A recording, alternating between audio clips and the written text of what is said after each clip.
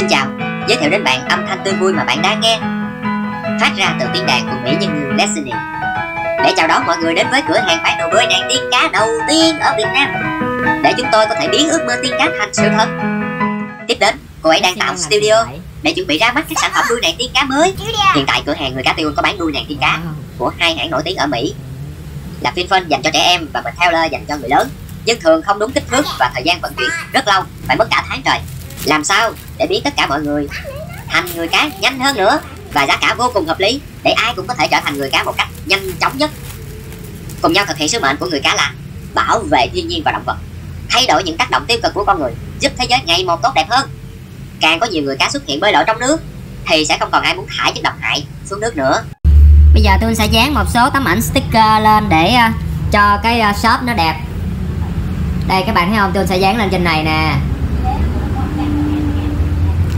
Đây là ảnh Theon um, ờ, được um, chứng nhận là chuyên gia bơi lặn uh, đại dương của Hiệp hội PDI ở Mỹ cấp.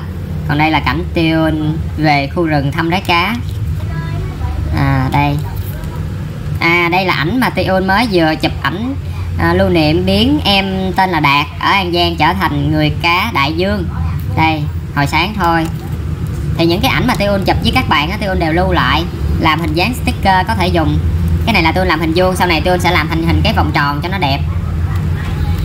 À, đây là ảnh mà Tion um, sự kiện người cá bơi lội cùng với các em nhỏ. Đúng rồi. Bây giờ mình sẽ uh, để một số tấm ảnh lên ảnh lưu niệm này để cho em đạt lần sau. Ghé mua shop sẽ được giảm giá 10% và sẽ được uh, lấy cái tấm hình lưu niệm đó về dán chơi.